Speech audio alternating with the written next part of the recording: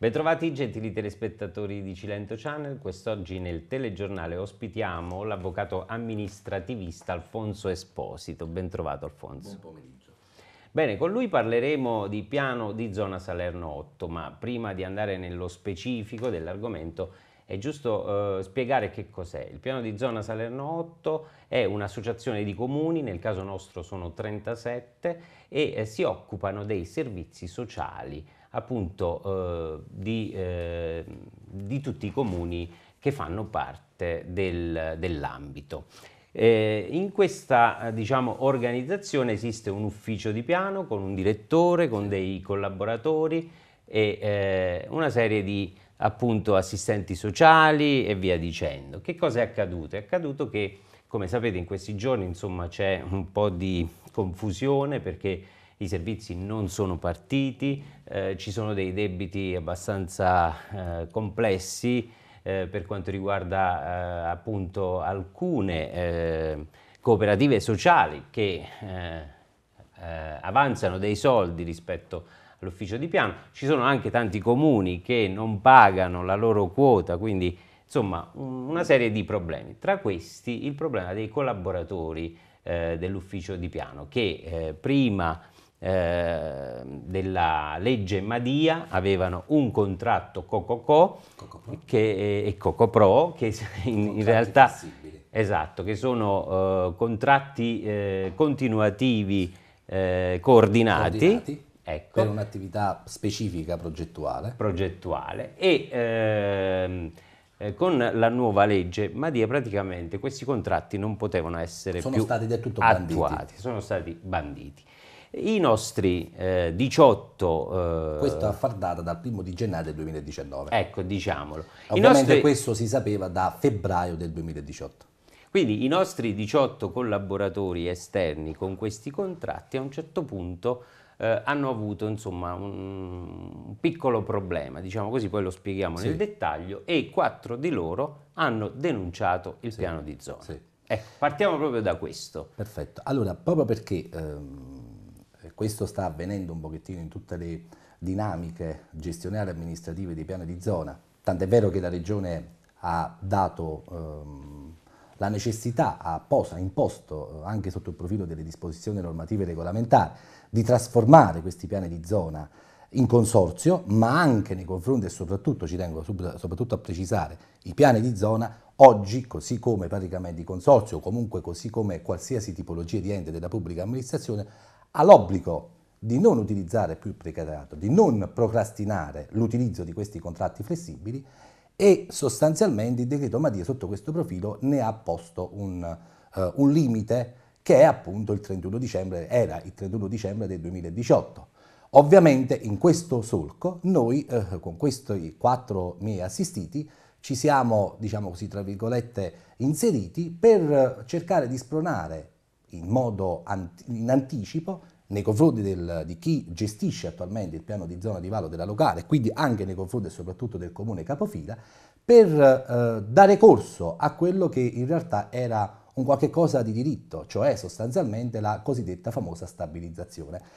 E che questo fosse un obbligo e che questo fosse un, um, un qualche cosa ben conosciuto non solo al comune capofila, ma soprattutto a tutti i 37 comuni, ivi compresi il comune capofila, che fanno parte del coordinamento istituzionale, quindi di questa associazione, di questa delegazione intersoggettiva di funzioni, ehm, c'è stata una delibera prima del mio intervento, la numero 3 del 27 dicembre del 2017, che andava a rafforzare proprio il decreto Madia. E quella delibera che non è stata né revocata né tantomeno è stata oggetto di modifica, eh, dava, delegava le funzioni specifiche al coordinatore istituzionale, al coordinatore, e cioè al dottor Mario Chiaruso, di eh, porre in essere che il personale attualmente operante, leggo proprio certo. testualmente, ah, no. per evitare che qualcuno possa creare ulteriormente confusione, di stabilire per l'effetto che al personale attualmente operante nell'ufficio di piano, nel segretariato sociale e nel servizio sociale professionale con contratto di lavoro flessibile, nelle more dell'avvio delle procedure speciali di reclutamento, verranno prorogati i corrispondenti rapporti di lavoro flessibile COCOCO, senza ricorso ad altre forme di lavoro autonomo, di dare mandato al coordinatore dell'ufficio di piano di mettere in atto con la massima celerità tutti gli adempimenti necessari all'adozione delle procedure speciali di reclutamento del personale del decreto 75-2017 per i COCOCO come meglio esplicitate nella circolare 3-2017 che sarebbe poi la stessa circolare. Ad un certo punto però che cosa succede? Succede che noi siamo costretti a fare una diffida, succede che noi siamo costretti a ricorrere al TAR, succede che eh, il piano di zona che ha sempre detto di non avere una capacità giuridica di assumere questi operatori, però nel contempo nomina avvocati, per contrastare l'esercizio di un diritto di soggetti che lavorano da circa 13-14 anni, diciamo tra, tra, virgolette sono i cosiddetti reali fondatori del piano di zona, e fino ad arrivare in Consiglio di Stato, ma per ottenere un nulla di giuridicamente rilevante, perché alla fine sia il TAR di Salerno sia il Consiglio di Stato ha... Mh, sentenziato una cosa molto semplice, ha detto sì, saranno anche praticamente eh, valutabili le vostre praticamente osservazioni giuste, ma dovete andare davanti al giudice del lavoro. Questo che cosa implica allo stato attuale? Perché credo che alla maggior parte delle organizzazioni eh, dei comuni, eccetera, eccetera, e soprattutto i rappresentanti dei singoli comuni, forse sfugge questo problema. Cioè, sotto le medite spoglie del Cococò c'era un vero e proprio contatto a tempo indeterminato. Di fatto, al di là di questo, si andavano soprattutto al di fuori di quello che erano gli orari, non venivano elargiti né trattamenti di, non è stato elargito ai miei quattro assistiti il trattamento di fine rapporto lavorativo, nonostante il 31 dicembre del 2018 sia passato. Non sono stati pagati eh, le ferie, non sono stati pagati gli straordinari, non sono stati pagati tutta una serie di attività accessorie e ovviamente questo si traduce che da qui a qualche giorno ci saranno quattro ricorsi dove, essendo quasi la posizione, diciamo così, similare che si uniforma tra i quattro mesi, quindi quattro ricorsi al giudice del lavoro con una richiesta di pari circa 120.000 euro cada uno. Ovviamente di questa situazione e di questa responsabilità di carattere contabile, seppur ci sarà una responsabilità contabile nei confronti di chi non ha voluto, non si conoscono ancora le ragioni, le ragioni mi sfuggono perché eh, io solitamente sono abituato a valutare gli atti sotto il profilo del diritto, della conformità o meno al diritto, poi se ci sono delle ragioni politiche allo stato attuale ancora nessuno me le riesce a far capire e sostanzialmente ci saranno un importo di 400, 500, credo che poi a ruota libera anche altri operatori seguiranno, che non dovrà pagare soltanto il comune capofila di Vallo della Lucania, ma tutti e 37. Perché? Come si, si dice... Ehm... Mi scusi Avvocato, proprio Prego. perché forse non esiste una forma giuridica precisa con uh, sì, un presidente perché essendo una delegazione intersoggettiva sono ecco, responsabili ecco, solamente tutti e 37 comuni, tant'è vero che quando siamo andati su un'eccezione specifica del legale del piano di zona sono stato costretto a rimodulare l'azione e a fare 37 ricorsi.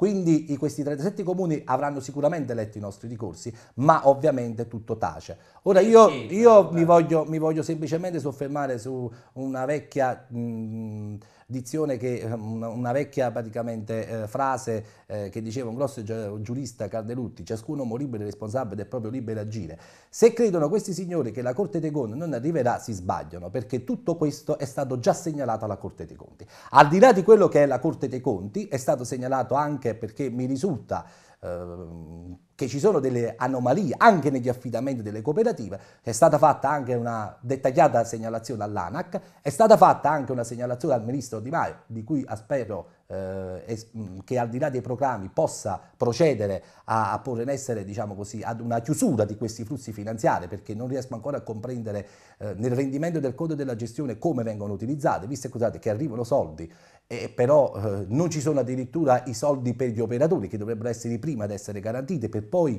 utilizzarli anche per garantire gli utenti e soprattutto al governatore De Luca. Credo che sotto questo profilo la, regione sia attivata, tanto è vero che entro sette giorni, alla luce di una serie di documentazioni che ho inviato alla regione, sempre il nome e per conto dei miei assistiti, entro sette giorni il coordinatore dovrà dare delle spiegazioni alla regione eh, in relazione a questo stallo che si è venuto a verificare. Stallo, e mi, mi, mi consenta poi dopo eh, certo. le lascerò spazio rispetto ad ulteriori domande, stallo che um, configura ancora oggi un illecito amministrativo nell'illecito amministrativo, perché sono stati il 31 dicembre con un viso pubblico, con una determina, sono stati eh, prorogati dei COCOCO per alcune tipologie di misure, dove in effetti non si riesce a capire ancora il come e il perché eh, tecnicamente sia ancora in vita al piano, eh, al piano, di zona di Vallo della Lucana l'esistenza del Cococò e del Cocopro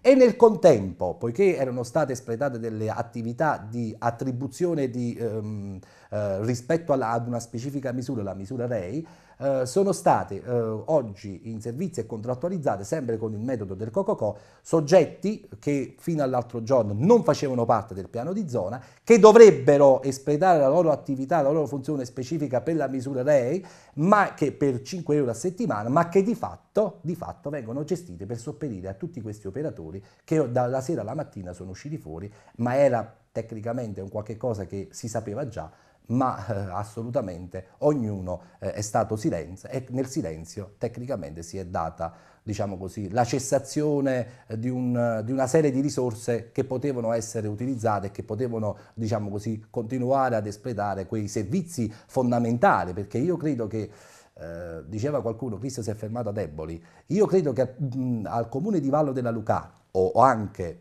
forse nei 37 comuni, non si è ancora ben compreso quale dovrebbe essere la funzione del piano di zona. Qui mi fermo perché è chiaro che eh, se non ci sono utenti che in questo momento non hanno creato problematiche, se non ci sono soggetti, ma eh, lei mi stava dicendo poc'anzi che ci sono delle cooperative che devono avere dei soldi e, e, e quant'altro, io credo che in, un, uno Stato democratico civile dove eh, i servizi sociali sono praticamente di carattere prettamente essenziale in relazione alla natura della materia che trattano, credo che ci sarebbe stata, secondo me, da parte di tutti e 37 comuni, non voglio dire tutte e 37, ma credo per il 70-80%, un'insurrezione spostando la gestione di questo diciamo così, piano di zona forse o da qualche altra parte oppure dando corso a quello che fosse una cessione. Ma questo non tocca a me, eh, sarà praticamente forse la gestione politica che in seguito con ulteriori provvedimenti dell'autorità giudiziaria non potrà che prendere atto di un totale fallimento eh, perché gli atti che sono stati posti in essere sono, mh, devo dire la verità, eh, in nulla di giuridicamente rilevante. Ecco, proprio per evitare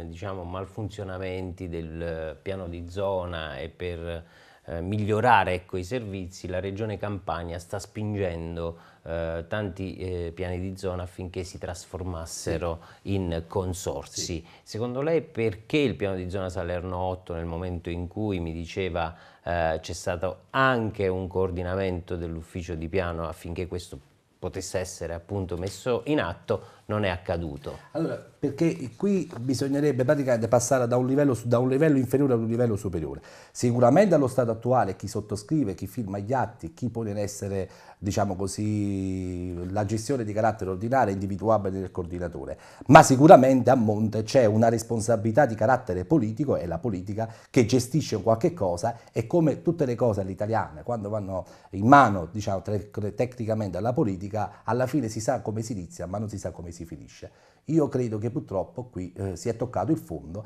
e credo che al di là di qualche comune virtuoso che allo stato attuale sta lanciando il pericolo e sta cercando, diciamo così, di arginare questa situazione assurda, atipica che si è venuta a verificare, eh, non è un problema di configurazione del piano di zona, perché il piano di zona di sé per sé esiste, è un ente, anche se non è un nuovo ente giuridico perché lo vieta l'articolo 2 del testo unico degli enti locali, di fatti ha una capacità gestionale, assunzionale, ha una capacità autonoma, autonoma, poi ovviamente questo sarà oggetto di verifica da parte della Corte dei Conti dove è arrivata una denuncia dettagliata rispetto a come si impostavano i bilanci, rispetto a come si eh, gestiva eh, diciamo, eh, la cosa pubblica tenendo ben presente che le poste di bilancio dovrebbero essere differenziate dal comune capofila rispetto a quello che è il comune capofila quando agisce autonomamente rispetto a quando agisce come comune capofila del piano di zona.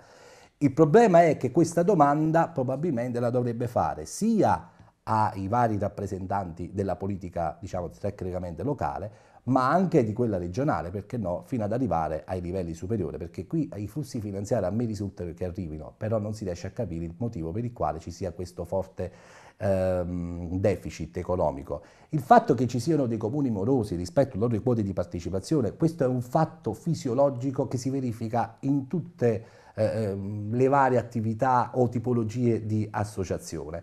Ora è chiaro che la Regione, preso atto di questa necessità di creare a monte una struttura un po' più sotto il profilo amministrativo pesante, anche per avere una facile individuazione delle responsabilità e una facile individuazione di quello che è la capacità gestionale di questi flussi finanziari, tecnicamente impone, anche attraverso una legislazione, devo essere onesto, di carattere primario, la trasformazione del piano di zona in consorzio e devo essere onesto, anche nella provincia di Salerno ci sono dei piani di zona originari che oggi si sono già eh, formalizzati in consorzio e in modo virtuoso hanno dato corso a quello che è il procedimento di stabilizzazione. Qui non si tratta di stabilire se ci deve essere una stabilizzazione di carattere diretto o di carattere indiretta. I miei assistiti, parlo per quanto riguarda i miei assistiti, i miei quattro assistiti hanno sostenuto reiteratamente delle prove pubbliche, degli avvisi, eh, delle selezioni pubbliche, quindi avrebbero tutti i requisiti per poter avere una stabilizzazione diretta. Ovviamente, probabilmente, si è gestita eh, non in modo oculato. Quello che doveva essere un allarme dato da parte nostra in, per tempo, e cioè stiamo parlando di aprile-giugno del 2018, certo. ma era lo stesso coordinamento istituzionale che le aveva dato l'allarme con la determina numero 3, con la delibera, la proposta di delibera numero 3 del 27 dicembre del 2017 e sostanzialmente io ho ancora una domanda da fare, il motivo per il quale non si è dato corso a una ehm, convocazione di un coordinamento istituzionale dove i sindaci liberamente si potessero assumere la loro responsabilità.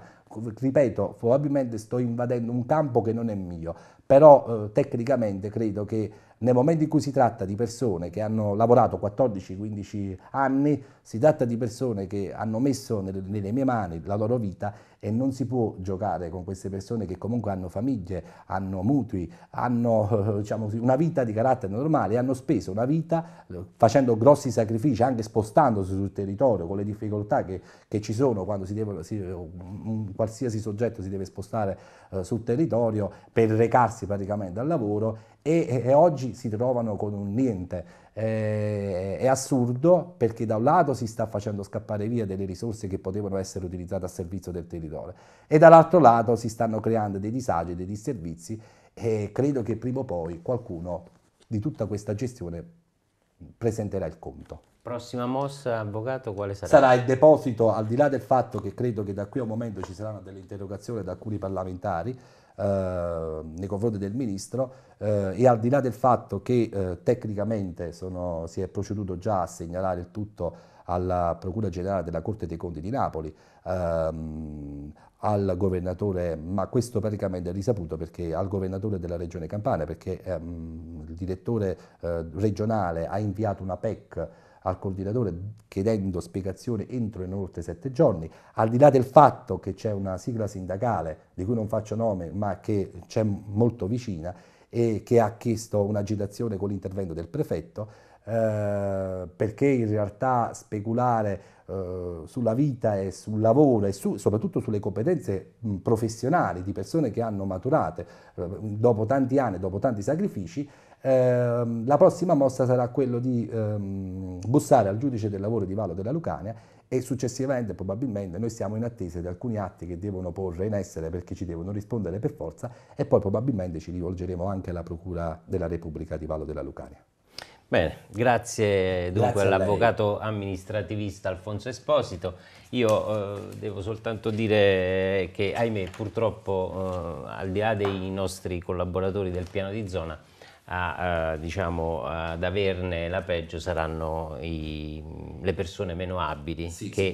non cioè, vedranno, cioè, utenti finali non vedranno non, per, non vedrà, per un po' di tempo non attivati adesso questi che entrerà, a, entrerà in, uh, a regime le nuove disposizioni normative, le nuove misure che il governo ha uh, predisposto, tipo per esempio il reddito di cittadinanza, io voglio proprio vedere dove credo che il piano di zona avrà la sua necessaria partecipazione, voglio proprio vedere come eh, si riuscirà a gestire una cosa di questo genere e sono contento che poco tempo fa il ministro Di Maio ha, eh, ad una domanda specifica ha detto chi sbaglierà qui la Guardia di Finanza farà pagare eh, sia a chi come funzionario sbaglia e sia a chi magari non a titolo cerca di prendere delle elargizioni che, contributive che in realtà sono eh, non dovute. Bene, la ringrazio. Grazie a lei e noi continueremo a seguire la vicenda del piano di zona Salerno